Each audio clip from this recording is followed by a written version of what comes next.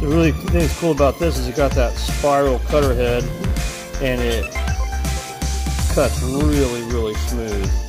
So remember, this thing has this um, this indexing fence right here, and you want to keep positive pressure with the fence against the side of the board, so that way you get like a square cut.